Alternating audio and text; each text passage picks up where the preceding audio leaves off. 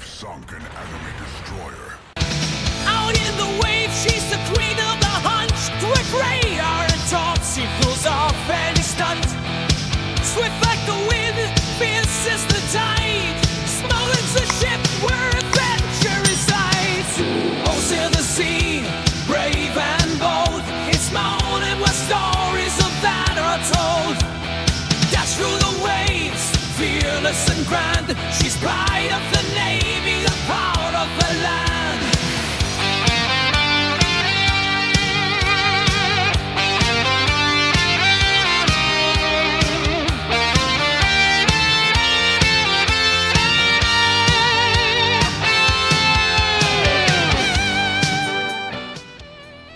Hey team, this is Rip here. Hope you guys are doing fantastic today. Got a really fun and maybe somewhat aggravating video, but I just wanted to get out there about really uh, do battleships really have the power to dictate what destroyers do and vice versa?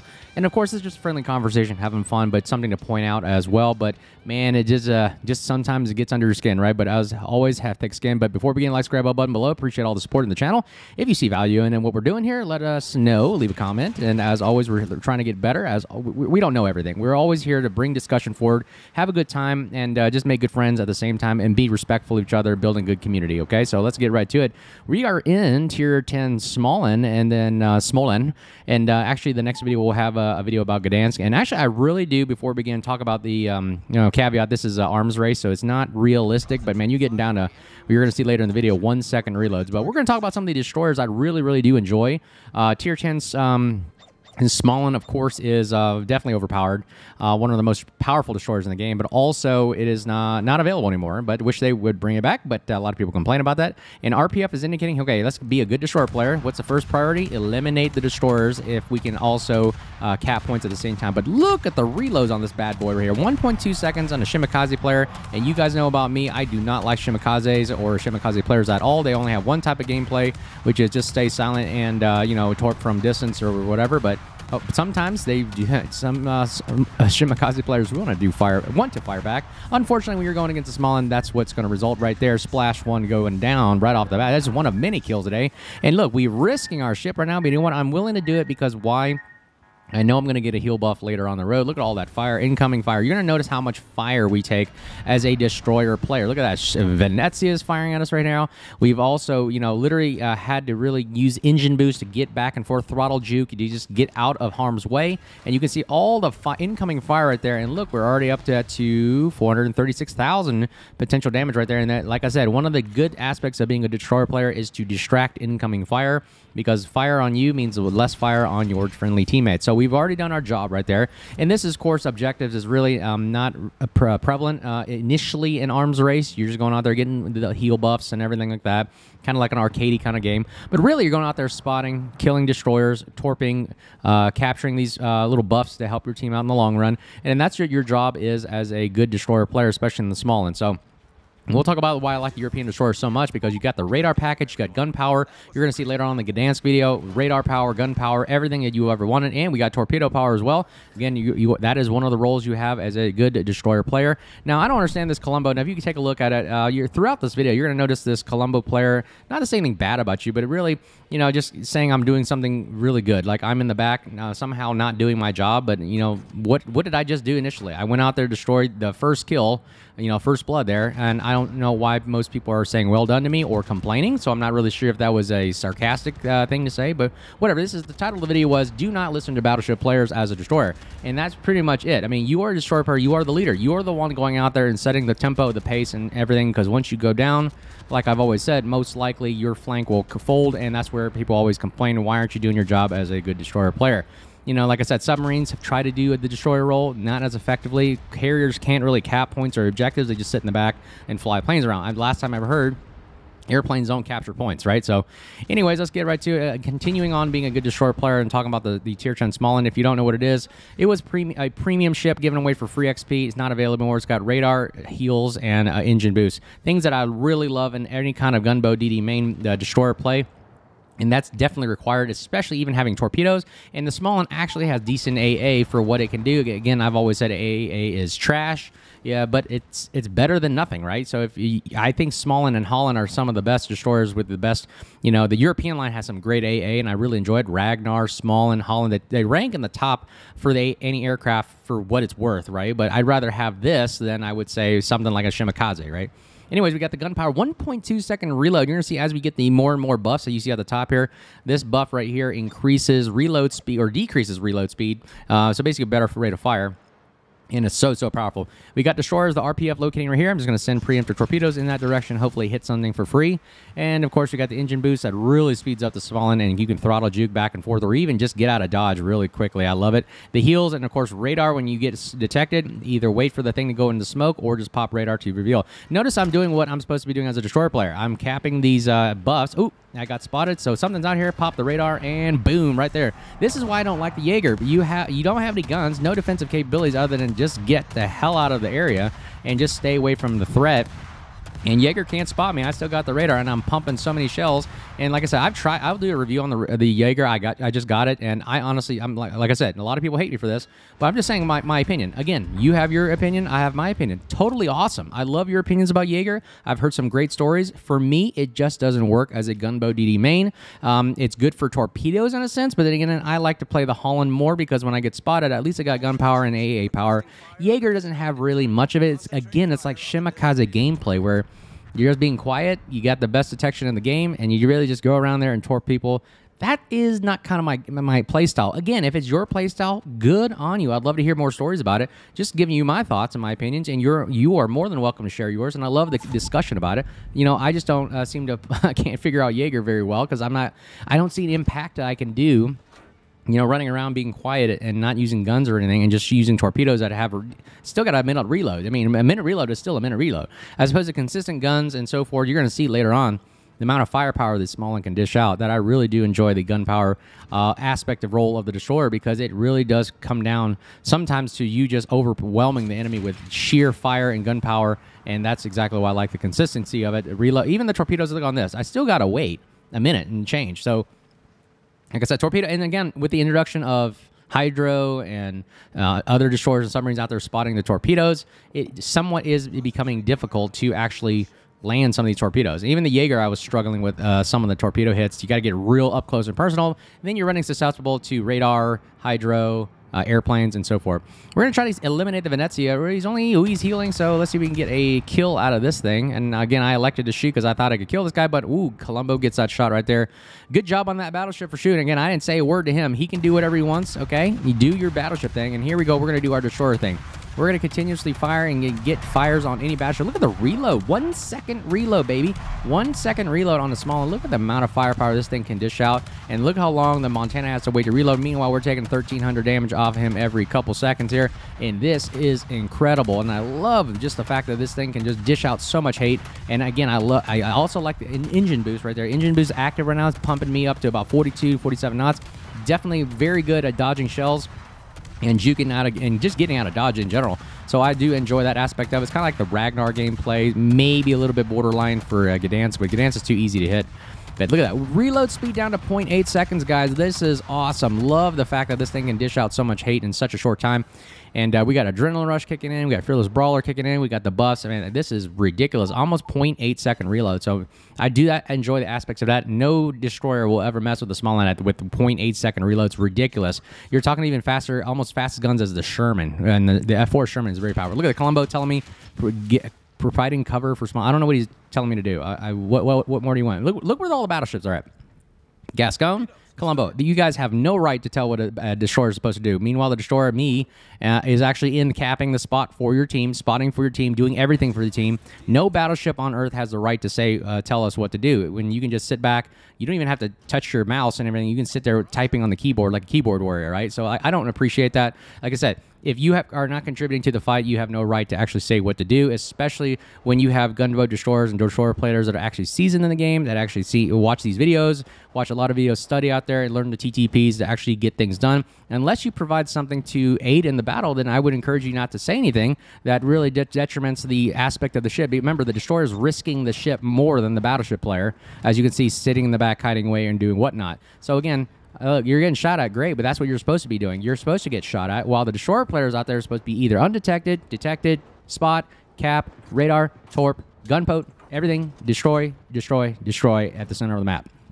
That's why I like gunplay, uh, destroy gunplay so much. It's it's so much more effective. Okay, I got the RPF located in front. I know he's spotted. Pop the radar, boom, right off the bat, and right there, go. Look at it. Okay, but first of all, before I begin, we're this engagement right there. Colombo over here saying, "Are you playing a Holland?"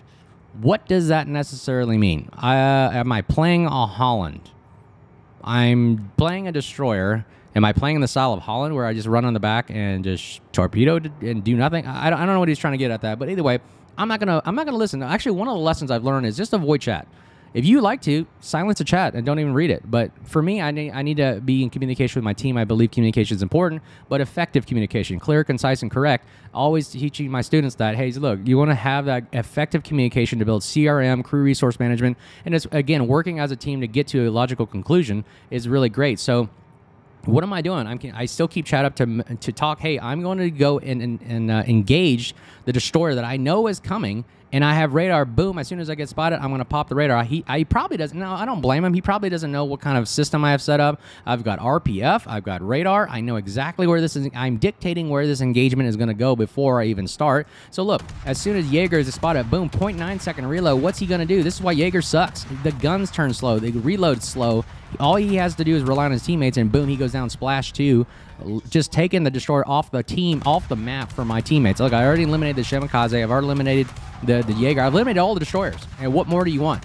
And thank God the submarine actually talked to me and says, Nice job, Småland. Hey, thank you very much for actually complimenting your teammates for doing the job well done. And I encourage that more. If you see your teammate do something good, reward them for it. Either um, report, um, what is it called? Not report, um, compliment. Compliment plus one. Hey you did a great job. And say it in the chat if you have time for do that. Um, especially the battleship players are sitting in the back that are just you know you can wait for your long reloads and you can actually have a keyboard and type and have conversations and everything. While meanwhile as a destroyer player my hands are constantly on the keyboard going back forth left right speed up speed down juke throttle uh, heals, engine boost, uh, radar. I have to keep myself continuously head on a swivel, keeping on moving. And again, I think that's why the destroyer role is so important. Again, it is also being very, very engaging, and you're always working the throttles. You're always working the map. You're always looking around. You're always analyzing the situation. And I think that's very, very important. Uh, yeah, that's why I like the destroyer play so much. You're so deeply involved. Right now, we are noticing the flank is collapsing on the wet side here, so I got to eliminate these two destroyers before I continue capping. Notice that the cap is being held. So what am I supposed to do as a destroyer player? I'm a quick reaction force. We uh, figure out which who is the one that's most likely to die first, and we're going to take the Schlieffen because he's getting focus fired. We're looking at our Minotaur. Is he about to die? Yep, he's about to die if he gets shot one more time. So we're going to go ahead and start putting fire down on the Schlieffen. We load us on our right here. Hindenburg is in range to shoot us, so we got to do this really quick. Look at the reloads right here, 0.9 second reloads here, and we're going to see if we can get a fire, help this the Minotaur out as much as we can, and boom, there he goes. Splash 3, 78,000 damage right here. Now we're going to go on the Veneto.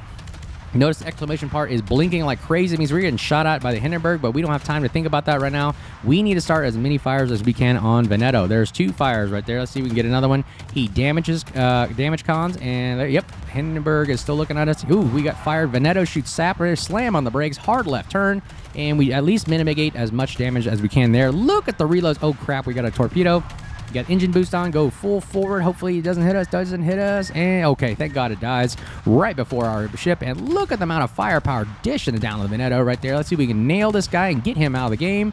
And boom, splash four. Look at that, four kills. 102,000 damage. Not only we taking battleships out, we're taking the cruisers, uh, sorry, destroyers out, and now it is all that's left is to mop up the rest of the team. They way to go right there, Ohio, and uh, that's pretty much the game right there. Four kills in the Småland. I definitely wanted to get this Kraken, uh, but unfortunately we are unable to get it again. Who's dictating the game right there? If I had died, would my team have survived that? I really highly doubt it, especially knowing where my position on my team is. They were pushing heavily down the middle there. They were also flanking my team. So I really don't know if they would have made it had I died. So look at it right here. We're going to see if we can get engaged at Hindenburg. Unfortunately, we don't get this Kraken because the shells take too long. And the um, the Gascon gets the Hindenburg kill. Way to go right there, team Gascon, uh, for uh, doing your job right there. And uh, that seals the game. As always, that is the first video. Um, the bill will be at the end of the video, so I'll take a look at it. But we're going to move on to the Gdansk video that's coming up next. If you want to look at the stats, I'll keep, I'll keep it up here right now just initially for you. 102,000 damage, 4 kills, a lot of fires. Did our part right there. Dreadnought, that means we're surviving, right? First blood, of course, got the first blooded team, and guess what? We're number one on the team again as a destroyer player. Why? Because we did our job. We did so many things, and this, if you want to be a good destroyer player, do a lot of things that actually for team play. Remember, this is a team play game, right? You work as a team, uh, not boss your team around. So you work together. 102,000 damage, a lot of fires, and uh, we got one torpedo hit, believe. Spotting damage. That is very. Look how many team. Look how many guys we spotted right there to help assist our team out. Potential damage. This is the amount of ammunition fired at you. You have. I told you, if you're up at the million um, uh, Mark, you are an annoying ship. We spotted ships. We torpedo spotted for teams so they don't get hit by torpedoes. We capped. We stopped the cap from uh, going up from the enemy team. And look, we how many destroyers did we eliminate? One, two, two of the. There's only two in the game. We eliminated both of them ourselves. That is how you win games right there. And of course, we also eliminate battleships. When you have destroyers eliminating battleships, you've got a strong destroyer player right there. So uh, let's take a look at the Gdansk and uh, see how that actually uh, turned out as well. All right, we're back with the uh, the Gdansk right here, and take a look at that. First, good destroyer player technique is to look at the lineup before you start the game to figure out what are your threats. First threat to me is the Worcester and Minotaur with 10 kilometer radar. I believe the Worcester only has 9 kilometer radar. Yeah, 9 kilometers. So we have a 9 kilometer and a 10 kilometer radar potentially there, and a Shimakaze gear and Sherman Holland. We're wor- more more worried about the Sherman right here, who can do pump a lot of firepower in this, and that, and of course the battleships are there. That is what you do as a good destroyer player. You want to actually look at what your team lineup or the enemy team lineup is, so you can uh, really beware as to see you know what is potentially on your side. That do you want to be pushing aggressive or do you not want to push aggressive? Can you win this battle? Um, do you want to engage or do you want to play more of a standoff role? Lately, I've noticed that I like the standoff role more, where I'm not rushing into a cap and waiting for my death. And I'm also liking this new technique where I'm actually finding a destroyer and just keeping them alive. Like I said, what is my rule? I've always said you keep your destroyer players alive, even if you're a destroyer yourself. If you keep your friendly destroyer like this Cassard in front of me, if I can keep him alive majority of the round, I have a higher chance of winning than the other side of the, the other team as well that loses their destroyer. So I elected to go, you know what? Let me go ahead and help my destroyer out. Now here's their destroyer. Okay, let's see here. The reason I like Gdansk, Gdansk is so awesome because it's overpowered with the radar smoke combo. Okay, now look, Sherman is going to smoke up. I wait, I wait until he goes undetected. He's slowing down. He's going to go into smoke. Okay, undetected, pop the radar. 12 seconds to shoot this guy for free. So look at that, just shooting at him. Nobody's shooting at us. We're just gonna plow as many shells as we can. Look, just doing a quick uh, surrounds check, make sure no torpedoes on our way, and just look at the firepower that we, we get a torpedo, and boom, Gearing goes down. First kill, and there goes the Sherman. Two destroyers right off the bat. Devastating survive. First blood on the gearing. And now the Sherman goes down. Now we have eliminated all destroyers on this side of the map. At Charlie, it is a nice free clear hunting day for our battleships and cruisers. And now they have nothing to worry about. I feel so much more comfortable if I was a battleship and cruiser player, knowing that I had a Gdansk and Cassard that eliminated all the destroyers. And now you can just literally go around at for free and just shoot at whatever you want to do. So Right now, another thing I like about the European destroyer line, look at what we're doing with Gdansk, Ragnar, Småland, everybody, all these European destroyers have the ability to really just farm. Farming from literally distance and just starting as many fires as you can. Holland even can do it as well. If you get close enough and personal, they start a lot. The guns start a lot, a lot of fires. You saw Small in the previous video starting a lot, a lot of fires. You got Ragnar, which is firing from distance using Worcester guns, by the way, mind you, and start a lot of fires. And of course, the Gdansk has smaller caliber guns, but it's like a Mogador on steroids that literally gets the the reload rates of a Mogador constantly, which I really, really do enjoy. And I like starting a lot of fires. You also get the addition of torpedoes, as you can see launching right there. 10 torpedoes going out to only 10 kilometers, but are good enough for a defensive measure. We're going to go ahead and pop fire right here and just start firing from concealment smoke. And we've got a 9 kilometer radar, which is also awesome, very overpowered, but it only lasts about 12 seconds if you want to build for it. And you can radar from smoke, which is that, you know, USS Black combo where everybody calls that overpowered, where you have a destroyer shooting from smoke in radar that can uh, literally just fire undetected for free. And it's really hell on earth for other destroyer players. So right there, defensive torpedoes are just like, I said, those are to steer the um, Schlieffen to where we want them. And that's what we did. We get a free hit. So be it. Hey, those torpedoes took out the gearing. Uh, why not? We'll take that. So we're firing from the concealment of smoke right here, and it's pretty awesome. Nevsky also coming in to support.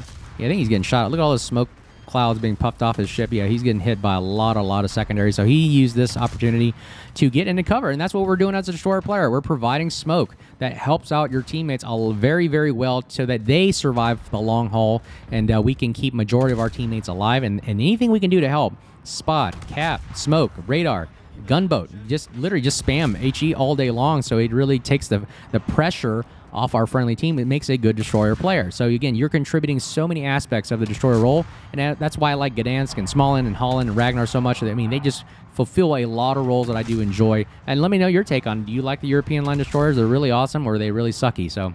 Anyways, we're firing from distance right here. You notice our guns go out to 14.4 for what we built, and it is annoying. I'm telling you, you should have a Gdansk. literally just spamming you from 14 kilometers.